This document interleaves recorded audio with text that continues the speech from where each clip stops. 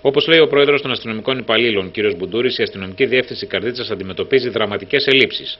Αλεξίσφαιρα γυλαίκα που η ημερομηνία χρήσης τους έχει παρέλθει.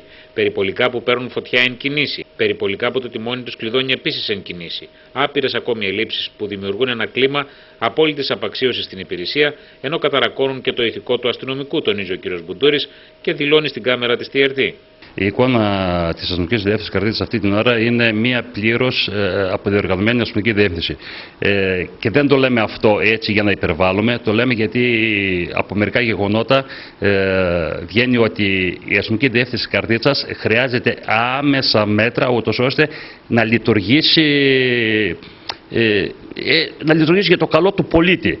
Ποια είναι αυτά, άμεση όταν λέμε άμεση, άμεση ενίσχυση με υλικοτεχνικά μέσα.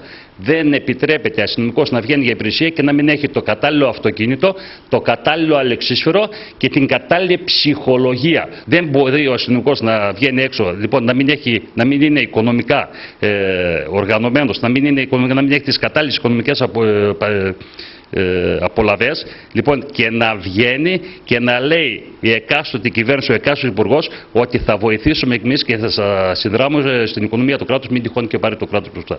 Δεν γίνονται αυτά τα πράγματα. Ο αστυνομικό πρέπει να έχει το ηθικό του, πρέπει να είναι ανεβασμένο και να έχει ψυχολογία κατάλληλη, ώστε να προσφέρει τις υπηρεσίες στον πολίτη. Τις υπηρεσίες που προβλέπονται και που θέλει ο πολίτης.